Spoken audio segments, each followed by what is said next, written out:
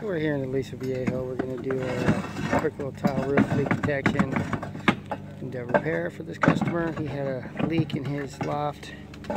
His loft area in this uh, Aliso Viejo home is right over, basically right over this area right down here. There's a window. There's a two foot overhang, measure nine feet back. That's where it's falling into the room. So we're going to take up an area of the tile. I'm going to show you it's pretty easy to get these tiles out. Make some safe stacks on the side here, safely stacked on the side. We're going to cut out all the roofing felt paper and I bet you we'll find the leak uh, either right here, probably pouring, falling off the felt right about here. It's pretty typical. These roofs, it's just, Aliso Viejo, just nothing but tile roofs everywhere you look. A really beautiful day today. 94 degrees, nice little breeze. Beautiful Southern California day, actually. So, uh, yeah, we're going to get this side up. I'll show you after we get everything all safely stacked aside. Cut out the damaged felt paper. Check and repair the deck as needed. Find the leak. Circle the leak. Find all the problems. Find the leak source. Make sure we do leak detection. Make sure it's fixed. Re refelt the area. Put her all back together. Warranted. And we're out of here. Got... Uh, 2 o'clock in the afternoon, a little bit before. We do a lot of these, so we get these things done pretty darn quick. I'll show you how it comes out. So we're going to show you the easy step here. Cutting out the plywood. Cutting out the felt paper. Excuse me, we're not cutting out the plywood. You see, it's pretty easy. I don't know why people go over this. It just, if you know what you're doing, it doesn't take too long fold it up. We have little recyclable bags. It goes right into the trash bag. It's cleaned up. We got one more to take out. And you can see there's the leak start. Here's his roof leak. Fold up the bottom first. Bottom first. That way you don't get dust all over the place. And fold the left side, the right side, and fold it in the middle. And you're good.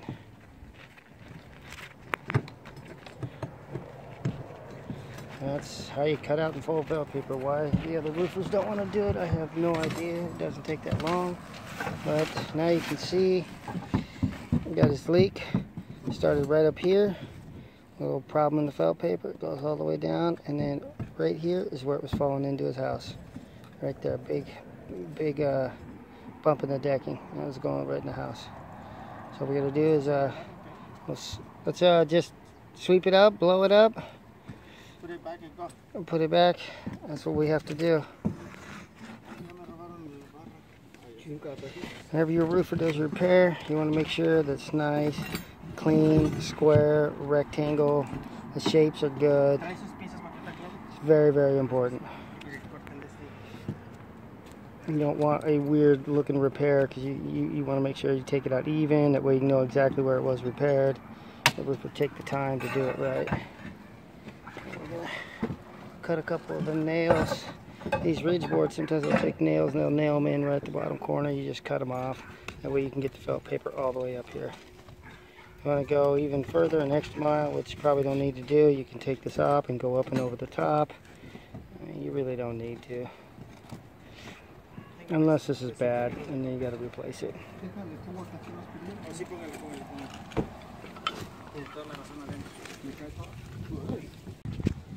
So here's what you should do just to make sure your roofer got the area. You should always have him just circle the roof leak so he can show you what it is. Find it and circle it. Real simple. There you go. As you can see all the water damage is confined in this area. On the outside of it, nothing but clean plywood, which means you have it confined. Started right here, fell into his house right there, circled all the way around it. That's how you know they actually did the leak detection and found the leak. Otherwise, if they just cover up an area, how do you know if they found the roof leak? You're just never going to know. So as a, another tip for you, make sure your roofer circles the leak. Okay, so we got it, now it's felted. What do we got here? So see, you can do sometimes these things really, really quick. I got to tell you that the, this one right here is like the easiest one that you can do. It's a field leak. There's no pipes, there's no valley, there's no flashing, there's no skylight, there's no chimney. There's no nothing. It's clean.